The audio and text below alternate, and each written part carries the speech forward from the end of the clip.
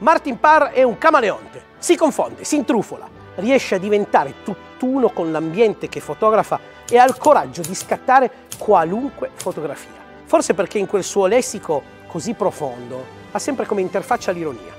Non per niente ha detto che si può imparare di più sul paese in cui si vive da un comico che dalla conferenza di un sociologo. E se c'è un paese transnazionale che lui ha fotografato più di chiunque altro e che ha saputo sarcasticamente raccontare più di ogni altro, questo paese si chiama danza.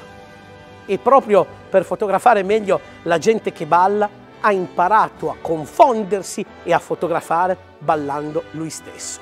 Alcuni studi scientifici dicono che ballare previene il decadimento cognitivo e dalle fotografie di Martin Parr il ballo sembra proprio una forma di resistenza. D'altronde lui è il fotografo dei tanti piccoli gesti che dimostrano che la società sta deperendo. Come potrebbe non avere una fissazione verso chi questo deperimento lo combatte? Non è gente che balla nelle sue foto, sono partigiani.